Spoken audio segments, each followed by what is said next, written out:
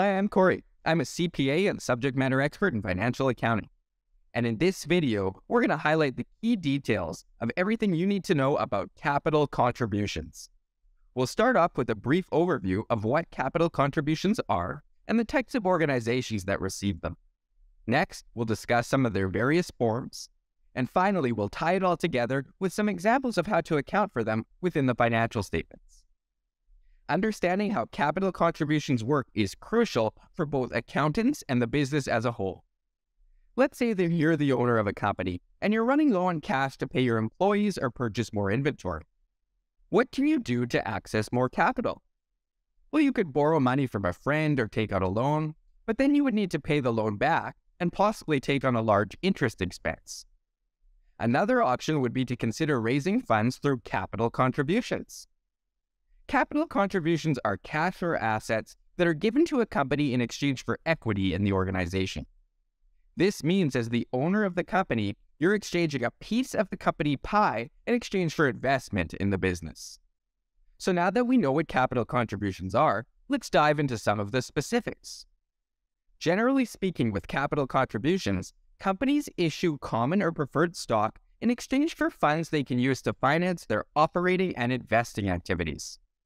This process is highly efficient when companies are structured as a corporation. This is because the corporation structure is set up to allow for the seamless transfer of shares to investors.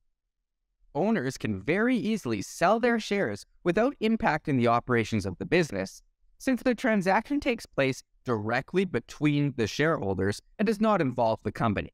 Corporate contributions occur in three key forms.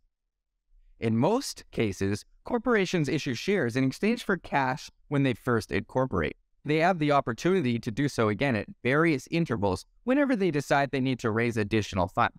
This is the most common form of capital contributions. Say, for example, you issued 100 shares for $1,000 when you first incorporated. This would account for $100,000 of capital contribution into the organization. At a later date, when additional funds are required, you would have the opportunity to issue more shares. We can also issue shares for non cash assets. The contributions do not need to involve cash. Companies can also issue common stock in the organization for other types of assets. An example of this would be when a company buys the assets of another organization such as their land, building, and vehicles, in exchange for ownership stock. The third way a company can do this is by issuing stock for services rendered. For example, let's say I hire you as a consultant to help me with my business. Instead of paying you in cash, I could compensate you with equity in my company. Now that we understand the various forms that capital contributions can take, we need to be aware that not all ownership shares are created equally companies can issue two main types of shares common shares and preferred shares. All corporations must issue common shares, and they are usually the main category of stock within an organization. Common shareholders typically get voting rights attached to their shares, which gives them the opportunity to elect board members and contribute to the decision making process. However, in the event a company goes bankrupt, the common shareholders are one of the last in line to collect the funds owed to them. Corporations also have the option of issuing preferred shares, which have special rights attached to them. Preferred shareholders receive a priority claim on the assets of an organization, which takes preference over that of common shareholders in the event of a bankruptcy situation. They also are often entitled to receive cash dividends at a predetermined rate, which are paid out to them before being paid to the common shareholders. Let's look at a couple of examples of how capital contributions are accounted for let's think about where we would see these contributions reported on a company's financial statements. You guessed it, the balance sheet. The value of capital contributions made to an organization will be reflected in the owner's equity section on the balance sheet.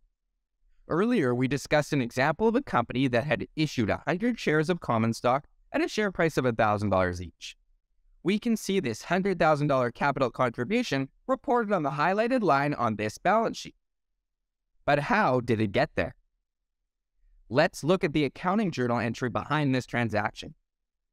Upon receiving the funds, the company would increase their cash balance with a debit of $100,000 to the cash account. They would also report a corresponding increase to their equity with a credit of $100,000 to the common stock account. With that quick journal entry, the details are now recorded in the company's balance sheet. But what if the company receives a capital contribution in the form of non cash assets? Let's say they receive a delivery truck with a fair market value of $40,000. The accounting transaction would look a little bit different since in this case the company is not receiving cash. Therefore, in this case, the company would increase the value of its equipment account with a debit of $40,000. Again, the corresponding entry would be an increase to their equity with a credit of $40,000 to the common stock account. Regardless of whether the company receives cash or non cash assets, ultimately, more equity is being infused into the company and would be reflected directly within the balance sheet. And that brings us to the end of this video.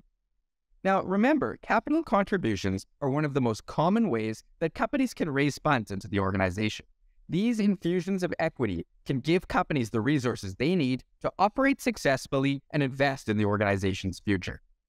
While we just skimmed the surface here in this video, if you're interested in learning more, please feel free to check out our additional videos on many more related topics.